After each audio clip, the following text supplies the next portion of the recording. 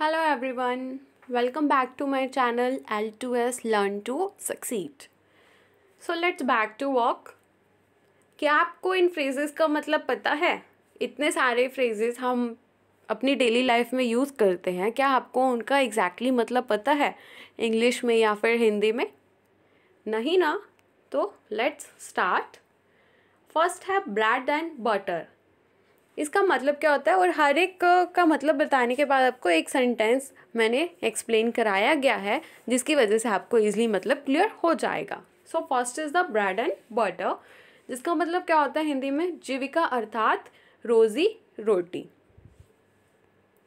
So one should be satisfied if one gets bread and butter these days इसका मतलब क्या है? क्या हुआ इन सेंटेंस का मतलब हिंदी में? इन दिनों यदि कोई रोज़ी रोटी कमा लेता है तो उसे संतुष्ट रहना चाहिए। या जिसको आजकल रोज़ी रोटी मिल जाती है, उसको उसमें संतुष्ट रहना चाहिए। वो भी बहुत बड़ी चीज़ है। So one should be satisfied if one gets bread and butter these days second है फैच एंड कैरी मतलब छोटे रुतबे वाला होना। आइए सेंटेंस से समझते हैं।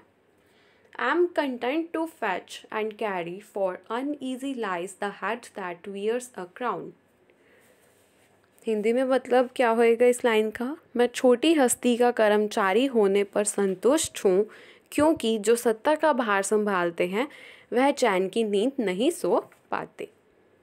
सो so, क्या हुआ मतलब फैच एंड कैरी का छोटे रुतबे? वाला I am content to fetch and carry for uneasy lies the head that wears a crown.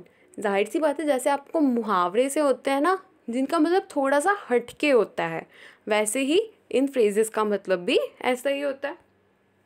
Next है गुड्स एंड चैटल मतलब चल संपत्ति।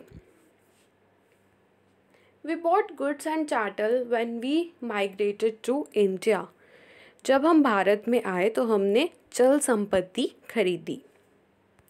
नेक्स्ट है, चौका ब्लॉक सुनने में इंटरेस्टिंग लग रहा है कुछ, चौका ब्लॉक मतलब एक दूसरे से सटे हुए या फिर टेढ़े मेढ़े। जैसे एग्ज़ाम्पल लेते हैं, चौका block books have made library अगली मतलब जो टेढ़ी मेढ़ी किताबें हैं, उन्होंने लाइब्रेरी को बहुत ज़्यादा अगली बना दिया है, भद्दा बना दिया है। और लाइब्रेरी में बुक्स तो क्या होनी चाहिए? प्रॉपर लाइन में होनी चाहिए, हर एक चीज़ सीक्वेंस में होनी चाहिए। जो चौका ब्लॉक का मतलब क्या होता है? एक दूसरे से सटे हुए या फिर टेढ़े मिडे या बिखरी हुई चीज़ें। नेक्स्ट पिक एंड चूज़ ध्यान से चुनना ओके क्या हुआ? पिक एंड चूज़ का मतलब ध्यान से चुनना। करते हैं sentence we must pick and choose our career before it is too late हमें अपना भविष्य और यू कैन से करियर समय रहते सावधानी से चुन लेना चाहिए। So we must pick and choose our career before it's too late ज़्यादा देर होने से पहले हमको अपने करियर को प्रॉपर अच्छे से चूज़ कर लेना चाहिए कि हमारे लिए कौन सा करियर सही है, कौन सा नहीं। ध्यान से चुनना ओके okay? अगर आपको ये पसंद आई है वीडियो तो प्लीज़ शेयर ज़रूर करना सब्सक्राइब ज़रूर करना चैनल को। और वीडियो को लाइक ज़रूर करना और कमेंट बॉक्स में ज़रूर बताना कि आपको वीडियो कैसी लगी।